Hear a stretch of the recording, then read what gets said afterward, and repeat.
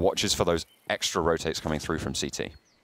Devil been stepping up massively for this team. We've already talked about it previously in other matches. Maniac getting caught, still managed to find the shot behind him as we see the wrapping from CT Spawn from Emwood. Now Caesar's going to be focused on his location as well. Does take him down in response as the retake starting to come on in. s1mple as well. A dangerous player for Na'Vi. He knows where one of the guys are as he sees Devil towards the back of the box, but they don't have utility for this. He needs to wait for seized to start to wrap, but he's taking his damn time as they begin to push on in. Flash misses its mark and ex6TenZ holding off, but it's Devil again to find a headshot. s1mple down and seized out. LDLC get themselves another round and 11 on this T side as they start to bring things